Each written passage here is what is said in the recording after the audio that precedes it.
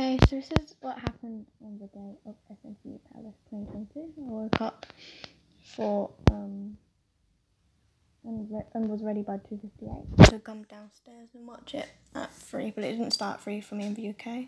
But was like, obviously with speech, that's a sustainability festival, and it started like 5:25, I don't.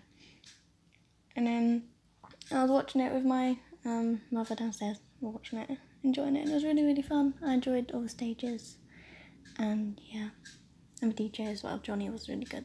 Yeah, it was great to see everyone. I'm a fan of everyone, so it was really fun. Um, I also have SMCU Palace um albums on the way, so I'll be opening those soon when they arrive.